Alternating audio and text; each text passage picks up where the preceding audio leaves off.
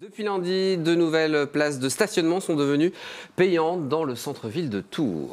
Cela concerne surtout le quartier Colbert avec 163 places qui ne sont plus gratuites. Une mesure prise par la municipalité pour éviter les voitures ventouses qui restent stationnées à longueur de journée. Alors est-il encore possible de se garer gratuitement à Tours? Faustine Luneau et Roméo Marmin ont tenté l'expérience.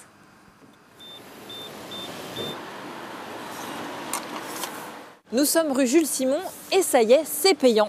La mesure est passée hier et ça ne plaît pas à tout le monde. Enlever les voitures du centre-ville, ok, mais pour les mettre où du coup? Ça va être aussi ça la problématique. Donc euh, je suis plutôt défavorable à cette euh, option-là. C'est facile à dire quand on n'a pas de voiture et qu'on habite à côté. Aller dire ça aux commerçants pour être livré, c'est compliqué. La moindre heure, je trouve que franchement, ça devient de plus en plus cher. Car ces nouvelles places sont en zone rouge, le tarif le plus cher car en plein centre-ville, 3 heures de stationnement maximum et au-delà des 2 heures, les prix s'envolent. Alors comment faire si on ne veut pas payer plein pot? Plusieurs solutions. D'abord, cibler les places gratuites. Il en existe notamment sur les bords de Loire ou dans des quartiers comme les Prébandes, Lamartine, Blanqui ou encore Cathédrale.